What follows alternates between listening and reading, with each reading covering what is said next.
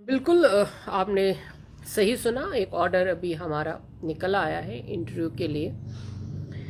क्योंकि हमारे कुछ मसाजिद, हमारे कुछ दरगाहें ज़ियारत शरीफ, जहाँ पर इमामों और ख़तीबों की बहुत ज़रूरत थी और एक साल अब ख़त्म हो गया। और हम जो नायब इमाम रहते थे, ख़तीब रहते थे, उनसे काम लेते थे। लेकिन अब वक्त का तकाजा है कि कहीं पे हमारे जुम्मा के इमाम साहिबान जो ख़तीब भी रहते हैं उन अ, वो बहुत उम्र रसीदा है। और उस पर तुरा ये है कि जो मुक्तदी रहते हैं उनको नमाज़ बिल्कुल समझ नहीं आती है।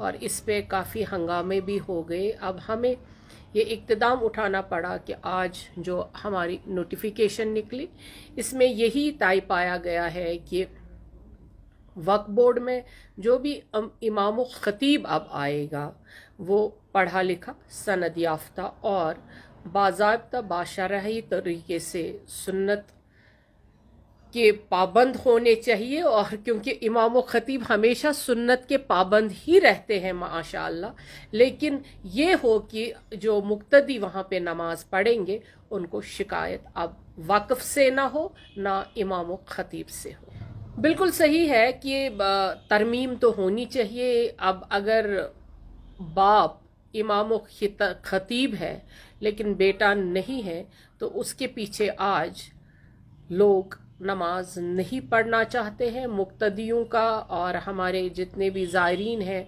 हमारे जितने भी नमाजी हैं, उन्होंने सबों ने हमारे पास ये बात रखी है कि हम उनके पीछे नमाज़ नहीं पढ़ेंगे।